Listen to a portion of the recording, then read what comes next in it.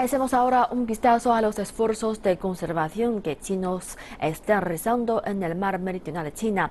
Trabajadores de las islas Yongre están ayudando a proteger a las tortugas marinas de los cazadores furtivos. Están recogiendo los huevos que están en las playas y cuidando de las crías antes de soltarlas en libertad. Estas son las islas Yonla, la parte occidental de las islas Sisha, en el área central del mar meridional de China. Es un importante hábitat para las tortugas marinas. Todos los años, de mayo a octubre, esta especie llega a las playas para desovar y criar a su descendencia.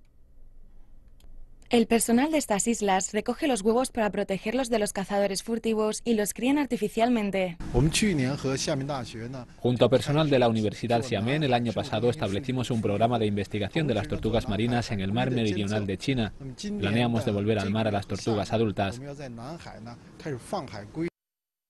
Estas son crías verdes. Tienen tres meses. Se las llama así porque comen algas y tienen mucha clorofila en sus cuerpos.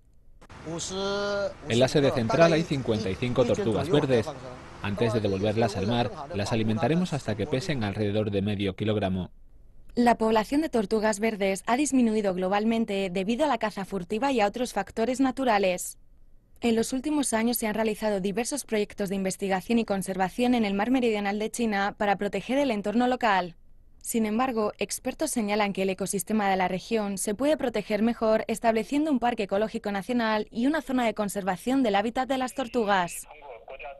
Sugerimos construir un parque ecológico en las islas Sisha o en otras islas de alrededor para proteger su ecosistema y su peculiar topografía. Deberíamos tratar de encontrar un equilibrio entre la protección y el desarrollo.